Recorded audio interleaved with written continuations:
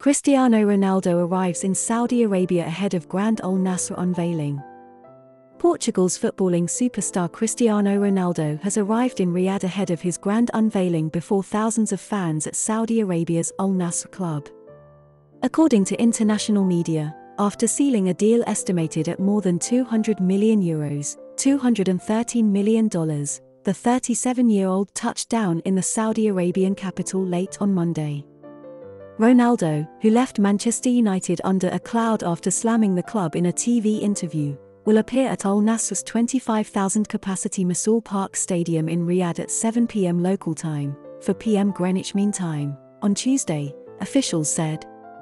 The latest and possibly final chapter in Ronaldo's illustrious career comes weeks after Portugal's quarter-final exit from the World Cup in neighbouring Qatar, where his great rival Lionel Messi lifted the trophy with Argentina.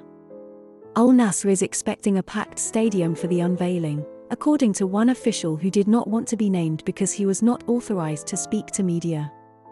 Ronaldo has won five Champions League titles as well as league titles in Italy with Juventus, in Spain with Real Madrid and in England with United. He is also the top scorer in the Champions League and with the Portuguese national team, with whom he won Euro 2016. At the recent World Cup 2022 in Qatar, he became the first man to score at five World Cups with his penalty in the group stage win over Ghana. He is also one of the highest paid. The Portuguese forward earned a reported salary of 31 million euros, $33 million, at Juventus before taking a pay cut to rejoin Manchester United. Ronaldo's signing with Al Nassr until June 2025 is just the latest foray into top level sports by oil rich Saudi Arabia, which has moved into Formula One, boxing and golf, and snapped up English club Newcastle United.